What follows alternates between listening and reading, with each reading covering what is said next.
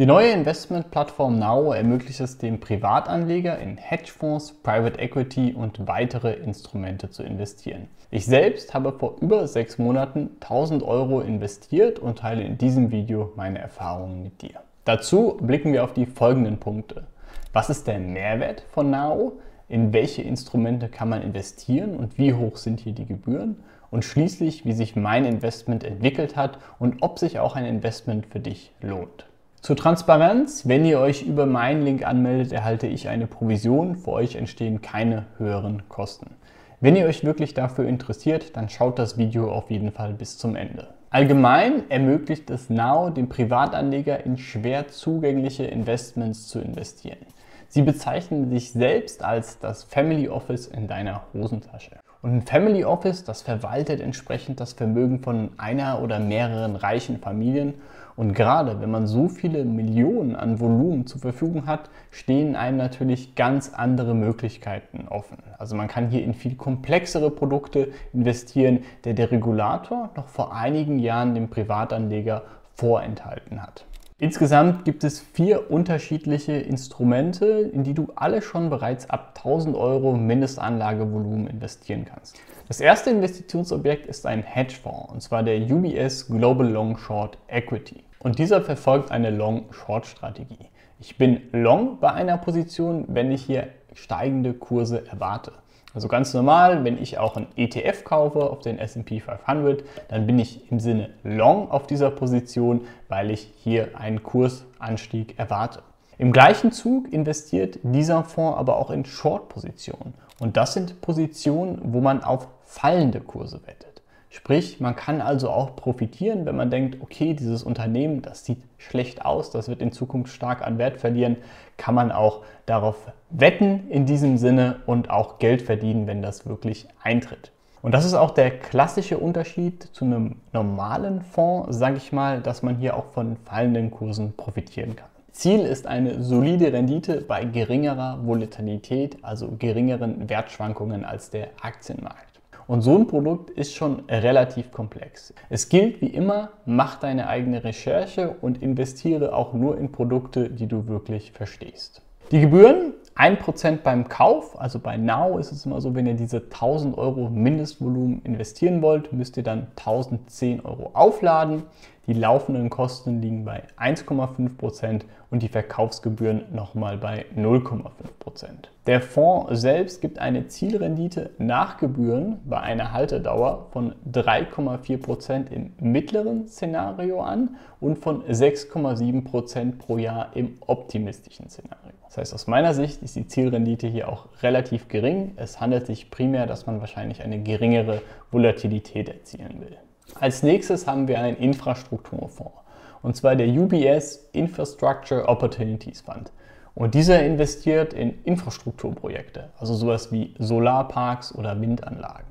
Und das kann man sich eigentlich so vorstellen wie ein REIT, also ein Real Estate Trust, der ja in Immobilien investiert, nur noch mal eine Schippe komplexer, also wirklich große Projekte, die hier finanziert werden. Die Gebühren liegen hier bei 2% beim Kauf 2,5% pro Jahr für die Verwaltung an und 0,79% beim Verkauf. Ebenfalls gibt es eine Lock-up-Periode. Das bedeutet, dass ihr in den ersten drei Jahren eure Anteile nicht verkaufen könnt.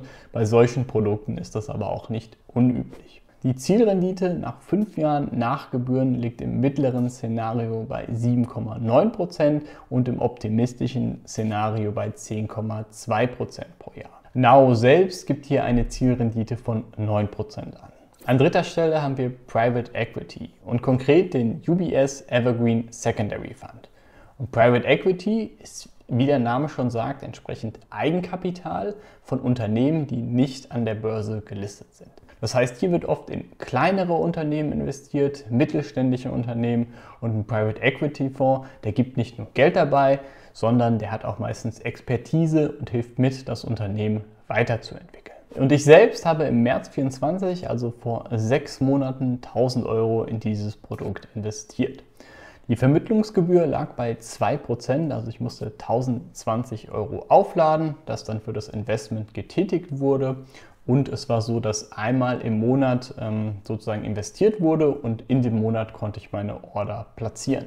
Die laufenden Kosten liegen bei 3,1%, die sind aber schon im Net Asset Value berücksichtigt. Ich will ja auch noch zwei Sätze zu diesen Gebühren sagen. Es ist einfach ein ganz anderes Instrument als ein ETF. Beim ETF, da bin ich nur passiv dabei und investiere in börsengehandelte Unternehmen. Das ist von dem Aufwand, der dahinter steckt, einfach viel geringer.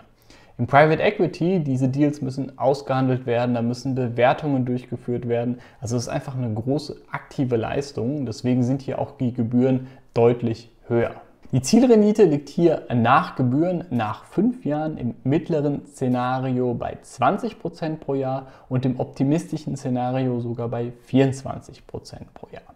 Now selbst gibt eine Zielrendite von 14% an. Persönlich fand ich das spannend, in eine neue Anlageklasse zu investieren und mein Portfolio noch weiter zu diversifizieren.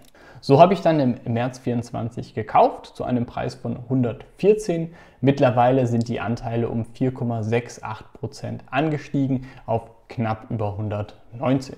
Nehme ich hier die Kaufgebühren, die ich gezahlt habe, weg, so habe ich wirklich nur knapp 3% plus gemacht. Und das liegt natürlich deutlich, also sehr deutlich unter den 14 Prozent, die ich pro Jahr erwarte. Jetzt muss man aber auch sagen, dass die Vermittlungsgebühr von 2 Prozent natürlich in so einem kurzen Zeitraum sehr stark ins Gewicht fällt. Das Investment ist ja auch eher langfristig ausgelegt und je länger ich investiert bin, desto geringer ist ja auch der Einfluss von der Kauf- und der Verkaufsgebühr. Als viertes gibt es noch Aktienanleihen und hier kommen wirklich sehr viele Angebote rein mit unterschiedlichen Aktienanleihen auf unterschiedliche Basiswerte. Wie das genau funktioniert, das habe ich im letzten Video genauer erläutert. Lohnt sich das jetzt für den Privatanleger? Meine Meinung. Als Vorteile sehe ich ganz klar, dass wir in eine neue Anlageklasse investieren können und so eine höhere Diversifikation, also eine höhere Risikostreuung erzielen können. Außerdem sind potenziell hohe Renditen möglich. Auf der Negativseite habe ich aber auch einige Punkte. Einerseits haben wir schon mal die Gebühren. Ich sehe es so, natürlich ist immer die Rendite nach Gebühren entscheidend. Aber so ein Private Equity Fonds, der irgendwie 3,1% laufende Kosten pro Jahr hat, der muss halt auch erstmal diese 3,1% erwirtschaften, bis er irgendwie bei 0% Rendite ist. Und da hat einfach für mich ein ETF noch einen Vorteil, weil er sozusagen viel weniger Rendite erwirtschaften muss, um wirklich schon ein ganz passables Niveau zu erreichen. Außerdem muss die hohe Renditeerwartung erstmal erfüllt werden. Hier steht 14% und das mag schön auf dem Papier aussehen, aber das muss erstmal erwirtschaftet werden und man hat keine Garantie, dass das auch erreicht wird. Das heißt, man sollte sich nicht davon blenden. Weiterhin schaut man bei den Private Equity Fonds zum Beispiel ja nur auf den Net Asset Value. Sprich, die Unternehmen sind ja nicht börsengelistet und somit wird einmal pro Monat der Wert dieser Unternehmen bestimmt und aktualisiert. Deswegen sieht der Chart von meinem Private Equity Anteil auch so aus. Aber das ist einfach nicht so gut für die Wertbestimmung wie wirklich der Kurs an der Börse. Weil es ist ja schon ein Unterschied, wie das durch irgendein Modell bewertet wird, als wenn wirklich jemand bereit ist, in diesem Moment so viel dafür zu bezahlen. Außerdem sind die Anteile relativ illiquide, also man muss hier sich wirklich schon langfristig binden, wenn man in solche Instrumente investiert.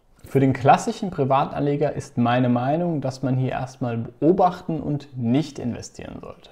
Wenn du ein fortgeschrittener Investor bist, kann es aufgrund der zusätzlichen Diversifikation für einen kleinen Teil deines Portfolios interessant sein. Wenn du dich anmelden willst, nutze gern meinen Link. Das unterstützt den Kanal und macht auch solche Videos möglich.